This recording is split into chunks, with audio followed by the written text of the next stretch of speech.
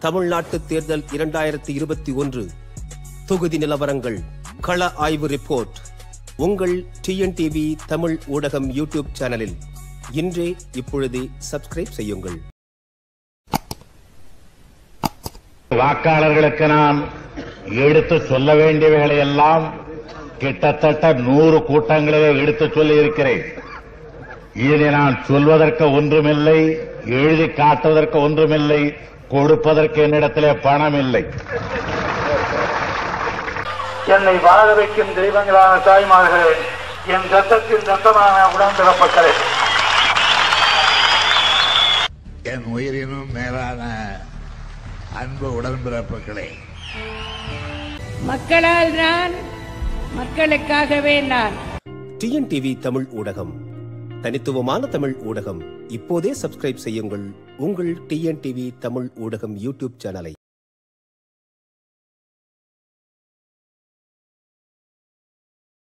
that you have to go to courts now, not just in Tamil Nadu, but I in have Karnataka? been facing a number of cases since 1996.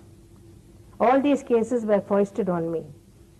I have never run away from facing these cases. I have been acquitted in 12 cases so far. What does that show? That the cases were false.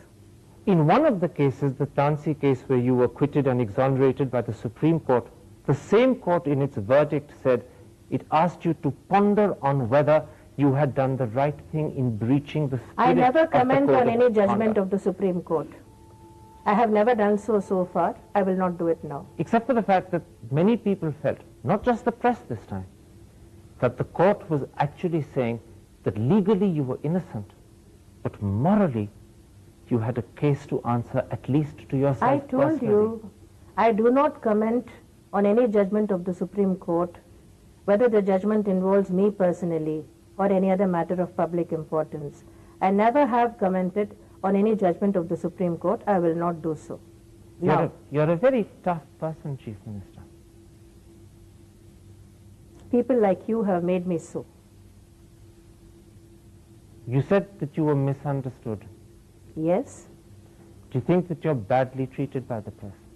I do not wish to say anything more on this. Anyway, your interview is not doing anything to help matters. My aim, Chief Minister, was to get to the core of the misunderstanding. You said that you Your aim seems to have been to put as many unpleasant questions as possible and try to provoke me. not to provoke you, but to put you the questions that have been discussed for the last three years, and which in many ways may be responsible All that you've asked for all the your questions, adversity. have you got anything more to ask? I've come very close to the end of this interview. I have only one last question. Are you confident that you can see your electoral low point over with, and that you will win in 2006? Wait and see. I told you already I don't believe in astrology. I can't predict what will happen in the next elections, but you will be around, I suppose. Wait and see what happens. But is that a yes, you will win? I said wait and see. Chief Minister, a pleasure talking to you on HARDtalk India. I must say it wasn't a pleasure talking to you. Namaste. I'm sorry that you say that, but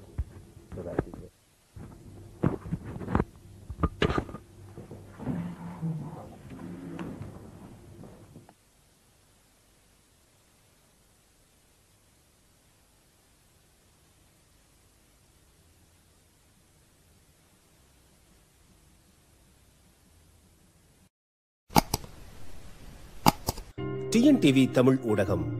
தனித்துவமான தமிழ் ஊடகம். இப்போதே subscribe செய்யுங்கள். உங்கள் TNTV Tamil ஊடகம் YouTube சேனலை.